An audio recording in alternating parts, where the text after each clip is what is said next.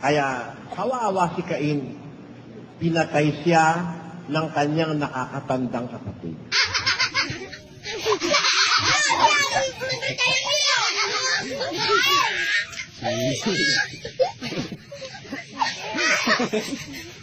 Hehehehe